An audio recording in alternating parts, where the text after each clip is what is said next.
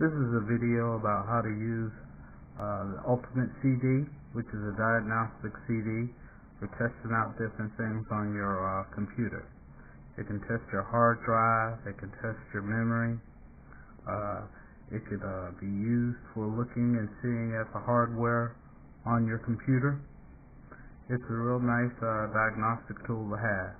It can especially be used for um, you can use it to uh, zero out or format your hard drive. So, uh, before you start, what you need to do is make sure that your uh, computer is set in the BIOS in the boot boot up uh, section or the boot boot startup section to uh, start out with booting up from uh, CD first so that it can pick up the CD. Um, so let's get started. We'll go ahead and turn on the computer now. We're looking at the blank screen.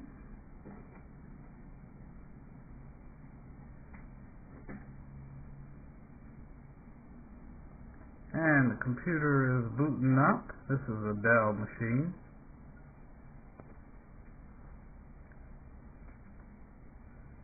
And there's the uh, boot scripter for the Ultimate CD. And as you can see, it booted up pretty fast. And you can see your options. That's the hard drive uh, option. Right there. Then you can see the rest of your hard drive and your uh, memory diagnostics, Linux uh, diagnostics, diagnostics, this uh, CD will work for uh, just about any computer, whether it's Linux or Windows. Uh, it doesn't. It hasn't been tested out. I haven't tested it out on um, Apple yet. Uh, so you, let's say you want to uh, test out your hard drive. Uh, you want to make sure that you hurry up and uh, make your choice, or it'll, it'll go down to the boot um, prompt. But no problem. It's just a simple matter of just rebooting your system. And it'll boot back up to the CD.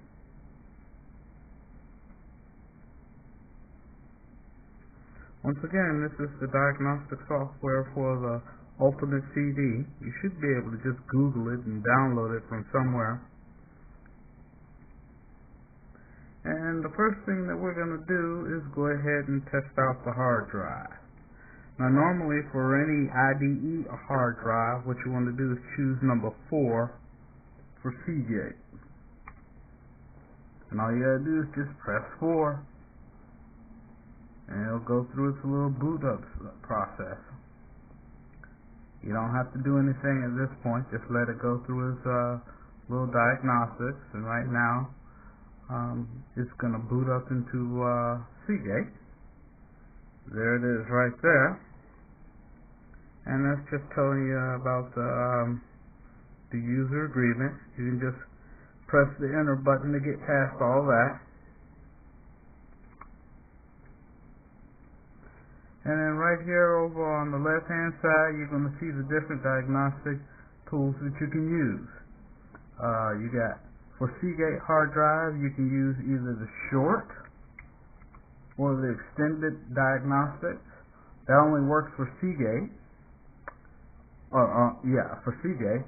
And for all the other uh, hard drives, uh, whether they're Maxtor, uh, Western Digital, Hitachi, Toshiba, you want to use the general diagnostic. So you just push the pull down arrow until you get to the general generic diagnostics, and then you just press enter. And then you'll see right here what you want to do, either a quick diagnostics or full diagnostics or exit. We want to go ahead and do a quick diagnostics. And then it'll pull out the hard drive that you're looking for, which for us is the Maxtor, so you just press enter. And as you can see, it'll go through its little test. As you can see on the left hand side, it's doing the diagnostics. And on the right hand side, it's showing you what it's passed and what it's checking. And down at the bottom, you can see you have a little uh, a little test gauge to show, show you how much longer you have. And then if you want to stop it, then you can press the escape key.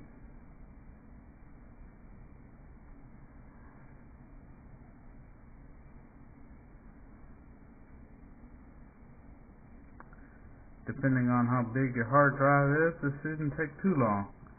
But if you got something like hundred gigs or so, you might be hundred gigs or more, two, three hundred gigs, you might be waiting for a while.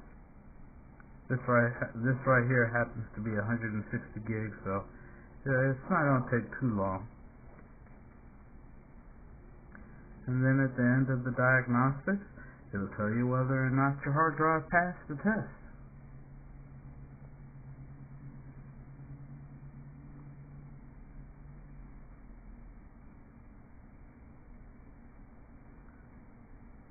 And it's almost done here. And as you can see, you have a green light says the drive is good. Once you're done, all you have to do is just press the enter button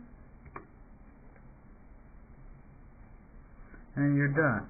Now, if you want to pull a little, generate a little report, as you can see, it says right there, you can view generic diagnostic report file.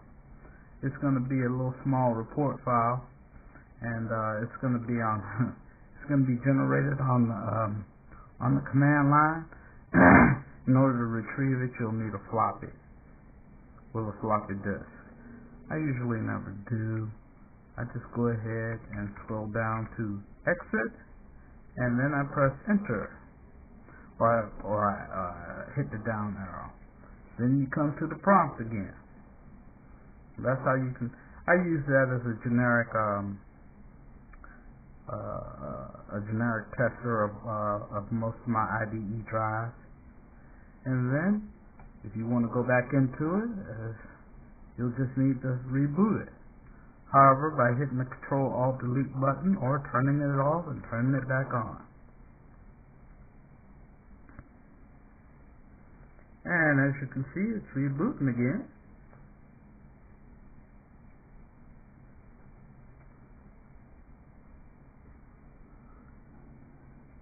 And there's the boot scripter once again. And this time, let me go ahead and show you the tool that I like to use for zeroing out or formatting the hard drive. I choose number 9, autoclave wipe hard drive. And as you can see, it gives you a warning. It's going to tell you that if you use it, then you're going to have, it's going to permanently erase everything. I just press enter to go on past this. And again, it's going to go through its little diagnostics. It's going to read the hard drive. And then you're going to come to this prop where it says, you cannot undo any changes you make using this disk. Please type I understand minus the quotes to continue. And you need to type it exactly as it is. I'm going to try and do this with one hand. Because yes, you do need to type large letter I. And then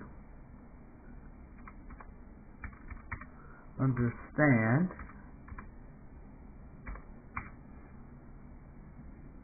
and then the dot at the end. Don't forget the dot. Oops.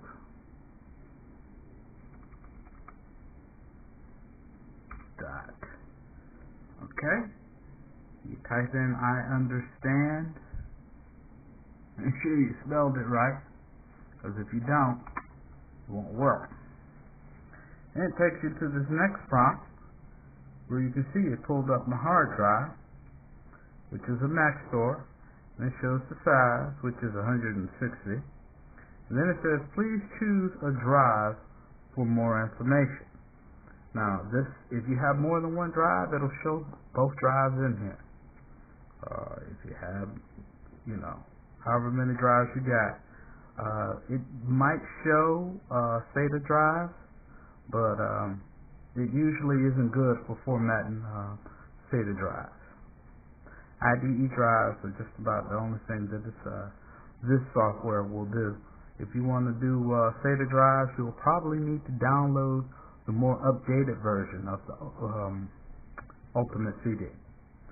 So, we go ahead and choose one since that's the only drive we have.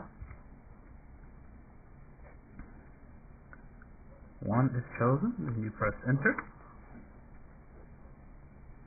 And then you have your options. It says, what level of confidence would you like to erase this disk? And then you have number one for zero disk only. That's going to only do one round. Number two for random pass. Number three for binary overwrite passes. Then you have uh, number four, which will do 10 passes, and number five, which will do 25 passes.